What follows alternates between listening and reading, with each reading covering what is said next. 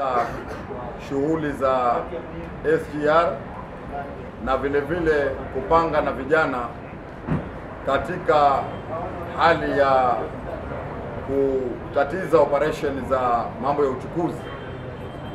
Lakini leo hii nataka kusema kuwa Nelson Marwa hii sio mara yake ya kwanza.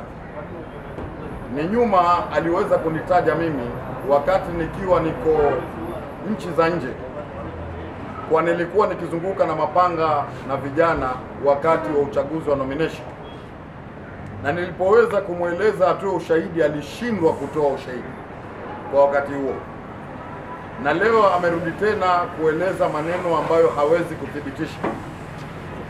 Lakini nataka nimwambie Nelson Marwa, yeye kazi yake ni kuweka usalama, lakini amejigeuza, amekuwa kampena wa Jubilee, anagawanya michele kwa watu wa Jubilee hapa na pale, ili kufanya kampeni ambayo haitafua dafu.